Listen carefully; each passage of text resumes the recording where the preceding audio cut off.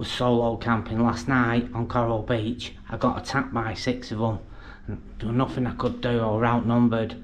And on top of that, I come back towards my hotel and I got robbed. So anyway, thank God, I'm back.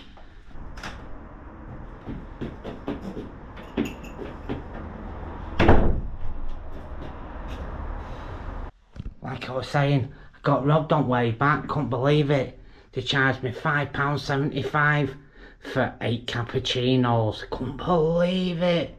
Well, it's red hot in here. Come on, let's open the door. I've made my own tie backs here. Look at that. Fantastic that, innit? I just used a carabiner, plastic bag. Job's a good one. Come on, it's red hot.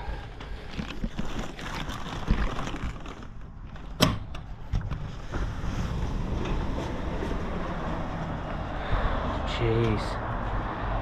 Wow, glad to be safe. Like I was saying, I got attacked by six of them though, and now I was just outnumbered. It was simple as that. I had my hat on and everything.